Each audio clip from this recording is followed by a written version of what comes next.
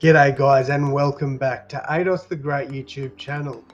So in today's video guys I've got something a little bit different. This one's a very important topic and yeah we're going to start it. Uh, well I will start off by saying I'm going to be reading off a script today. Now 95% of my videos I don't use scripts obviously so I'm not very good with reading off a script but there is no way I would have remembered all this information off the top of my head. Yes, you could say I'm not very well prepared, but uh, we are going to do the best we can. So I do apologize if I make any uh, mumbles or errors in this.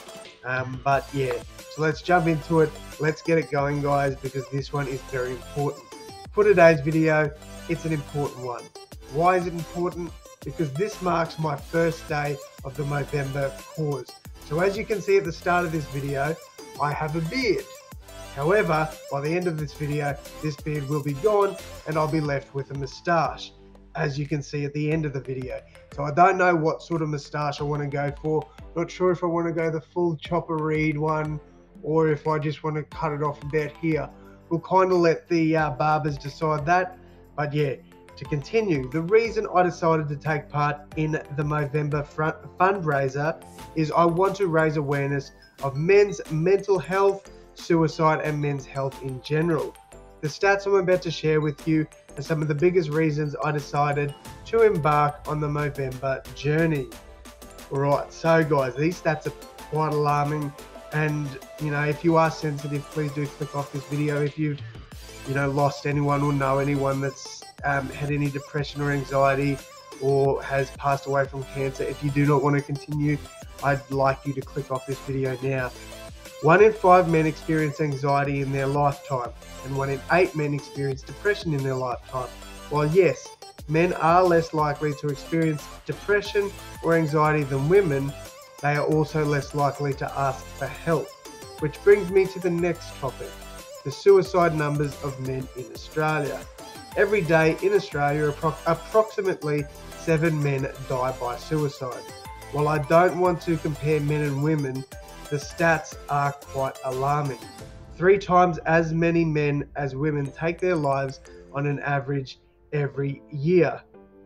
On average, we lose 2,500 men in Australia compared to 800 women. While we shouldn't be losing anyone to suicide, it's sad how many men take their lives every year. So basically, I wanted to start this journey uh, to support men and men's mental, physical, and just health in general. So, yeah, guys, now we're going to talk a bit about general health. In Australia, 980 men have been diagnosed with testi- testicular cancer so far in 2021. We've lost 33 men to testicular cancer this year, and that's 33 too many. These numbers are much worse in the more common prostate cancer. In 2020 alone, 16,741 men were diagnosed with prostate cancer. 3,152 men died from it in 2020. These are just a few reasons why I'm taking part in Movember. And as you can see, as promised, I've shaved the beard and kept the mo. Now, I ask if you guys can help out just a little bit, help this cause, I've pledged to aim to raise $1,411. And if you guys can please donate anything to help the cause, it will be very much appreciated. The links will be in the comments, in the description below. Uh, thank you all so much for your time. I really do appreciate it.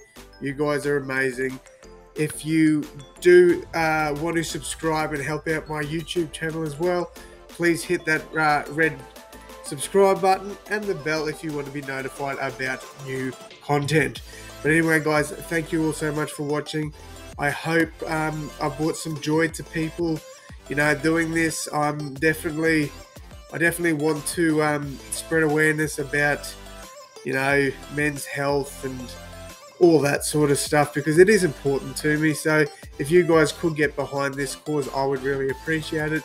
Thank you all so much once again. And as always, guys, I will see you in the next one. Thanks, guys.